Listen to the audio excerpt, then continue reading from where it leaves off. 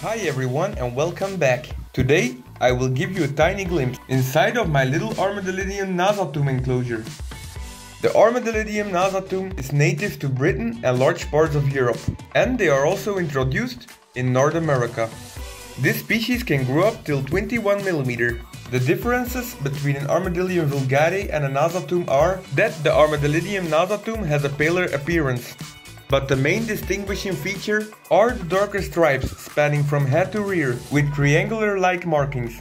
Also, unlike many Armadillidium species, this one does not form a complete ball when unrolled.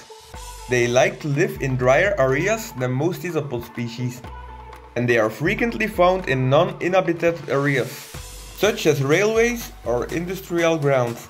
Their diet consists out of decomposing tree leaves, microorganisms and all sorts of decaying plant materials. So, earlier in the video I said my little Armadillidium nasatum enclosure. That's because me myself is starting up with a fresh colony.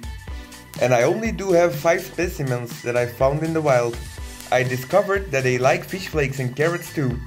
And I only keep one third of the enclosure wet. They are still kind of shy, but I really start to enjoy the species. This will be a learning process for me too, but I keep you guys updated. I did found many information about the species on this website. And they also provide information about many other isopod species. For people who are interested, I also will drop the link in the description. Well guys, I hope this colony kicks off, so in the future I can provide you guys with many updates about them. And hopefully we might see some babies growing up.